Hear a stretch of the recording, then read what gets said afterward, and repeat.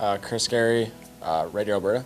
Um, I was recruited by uh, Bill Muckalt, um, my first showcase in the, in the AJHL. Um, he approached me and kind of went over, you know, how I played and, and stuff like that, and went over the program and just kind of, you know, talked about uh, just the program itself and and what like what the future is going to look like and just kind of keep in touch and stuff like that. So um, obviously we kept in touch and he went over you know things I needed to do and yeah it was just from there it was just a good uh, relationship and you know talking with the coaching staff so it was, it was really good. Uh, offensive, um, you know I think I try not to be one dimensional though I think I am trying to you know round my game. I don't want to be uh, just an offensive threat. I want to be uh, a defensive threat too.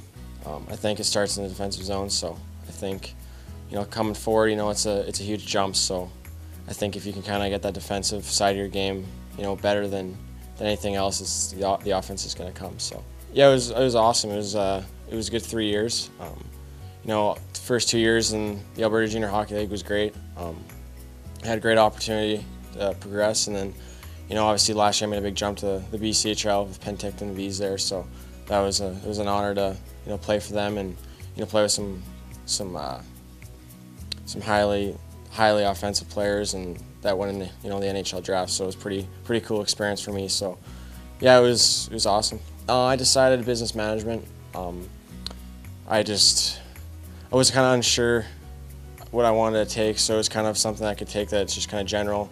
I can kind of switch after a year and a half. I know business is something that I've always kind of been interested in, so um, I think I think it's a good choice and just kind of keep your options open. So uh, my roommates are Gavin Gould and Alex Smith, and it's it's going great. We kind of we kind of bonded the the first couple days there, kind of helping each other set up our rooms. So it was pretty uh, pretty fun to do that and kind of get to know each other and talk about different leagues and stuff like that and different players. So it was good. It was pretty easy to you know kind of bond with them. Uh, I love the golf. Um, I kind of like just relax and you know watch TV. You don't get to do a whole lot of that, so.